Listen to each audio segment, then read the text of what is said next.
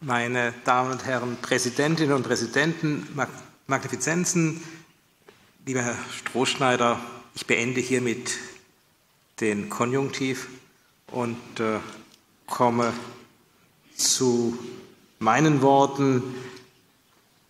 Lieber Herr Zernikow, freue mich sehr, dass wir heute Ihnen diesen Kommunikatorpreis verleihen können. Das halt sehr, hören Sie, ist, hören Sie mich hinten? Gut, wunderbar. Die, der Preisverleihung des Kommunikatorpreises der DFG und des Stifterverbandes nähert man sich im Allgemeinen, indem man das liest, was die DFG und das Auswahlgremium dazu geschrieben haben. Natürlich liest man auch das, was als Text vorbereitet war, aber dann kann man meistens der Versuchung nicht widerstehen und selbst noch einmal im Internet nachschauen. Und bei Ihnen, lieber Herr Professor Zernikow, ist es eine ganz besondere Freude. Sobald man die Bilder, die natürlich Google bereitstellt, sieht, freut man sich. Sie sehen auf allen Bildern freundlich, lächelnd, lachend und positiv aus. Ein Eindruck, der sich auch wiederholt, wenn man in einem Video, das man natürlich ohne Schwierigkeiten bei YouTube heutzutage findet, sie anschaut. Und dann Ihr Thema, das, was Sie zu diesem Thema an Forschung geschrieben, an Vorträgen gehalten haben, ein wichtiges Thema. Die Pädiatrie im Allgemeinen und die Fragen von Schmerztherapie und der palliativen Medizin bei Kindern im Besonderen. Beides zwar unterschiedliche, aber gleichermaßen schwierige Themen. Themen allerdings, die aktuell auf der politischen Agenda stehen.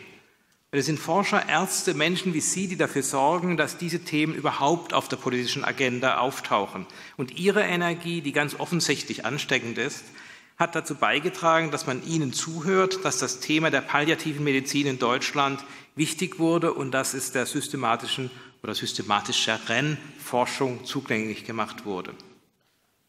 Sie haben einmal gesagt, dass Sie die besten Einfälle im Grunde nicht wie unser eins ab und zu, sondern immer haben und dass es für sie erholsam wäre, wenn es ein paar weniger wären.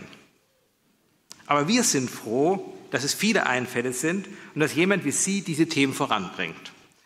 Der Bundestag hat kürzlich einen Gesetzentwurf des Gesundheitsministers beraten, der einen Ausbau der Palliativversorgung vorsieht.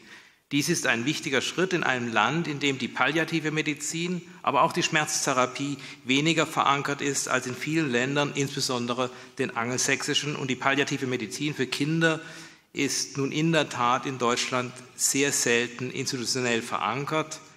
Sie sagten einmal, dass im Grunde jede Kinderklinik sich der Schmerztherapie und der palliativen Medizin annehmen müsse. Davon sind wir heute noch weit weg. In den vergangenen Jahren hat sich einiges bewegt. Gleichwohl brauchen die betroffenen Kinder und Familien heute und auch in Zukunft eine kraftvolle Stimme für ihre Anliegen. Einen wichtigen Beitrag dazu leisten Forscherpersönlichkeiten wie Sie. Mit Ihrer Forschung tragen Sie zu einer kontinuierlichen Weiterentwicklung der Kinderschmerztherapie und der Palliativmedizin bei. Mit ihrem Engagement als Kommunikator erreichen sie betroffene Eltern und Kinder, Bürger, aber auch Entscheidungsträger der Politik und im Gesundheitswesen. So ist es ihnen über die Jahre gelungen, kreativ und hartnäckig die Schmerztherapie bei Kindern zu einem festen Bestandteil der Pädiatrie wie auch der öffentlichen Diskussion zu machen. Sie gelten damit als Wegbereiter einer adäquaten Schmerztherapie und Palliativversorgung für Kinder und Jugendliche in Deutschland.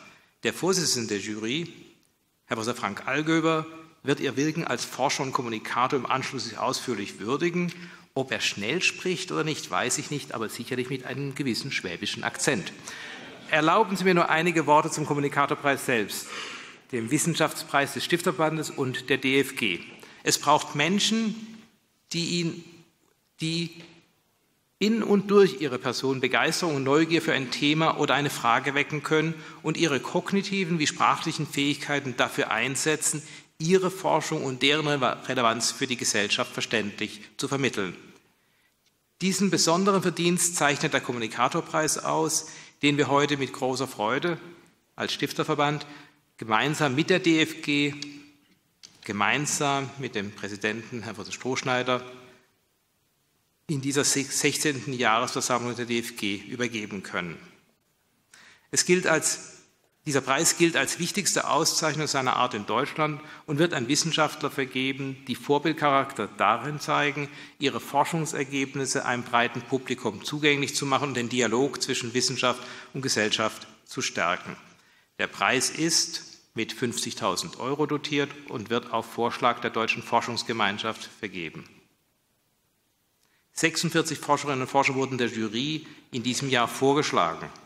Die Auswahl des Preisträgers erfolgt ohne Involvierung des Stifterverbandes, sondern von einer unabhängigen Jury, der der DFG-Vizepräsident Frank Allgöwer vorsaß und die die Auswahl gemäß der Kriterien, die für die Vergabe des Preises ausschlaggebend sind, trifft.